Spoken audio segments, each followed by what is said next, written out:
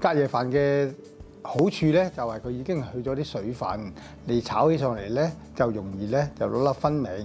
其實好多時咧，我哋都有可能用到誒即刻煲嘅飯嚟到炒飯嘅。不過咧喺炒之前咧，我哋必須咧要將呢啲熱飯咧就攤攤佢啦，等佢去咗啲水氣，咁你先至炒。如果唔係咧，佢會好黐嘅，同埋好誒一粒粒唔夠分明咁嘅感覺啦。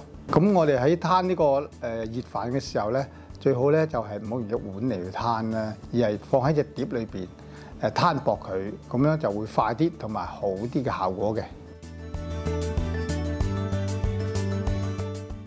其實炒飯咧就係唔使太多油嘅，通常一個茶匙嘅油一碟飯度啦。咁你想誒佢見到個誒靚身嘅話咧，咁你可以喺炒飯就嚟完成嘅時候咧，誒喺個滴幾滴包尾油落去，咁個飯就好靚仔㗎啦。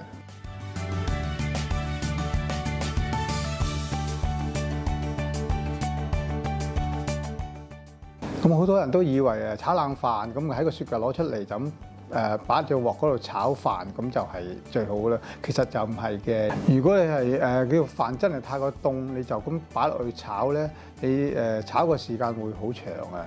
因為炒翻先炒得翻熱佢咯。咁你誒另外咧就係誒佢會越嚟越黏啊，你會誒炒覺得越嚟越難炒咯。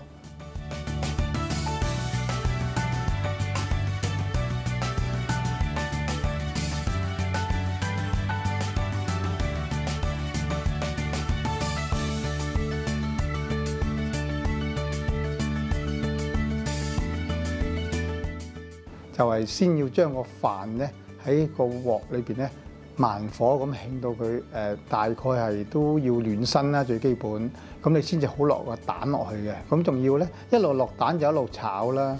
咁等啲蛋咧就誒均勻嗰行勻嗰啲嗰個誒飯粒啦，即係一路一路將嗰個飯兜勻佢，唔好太猛火。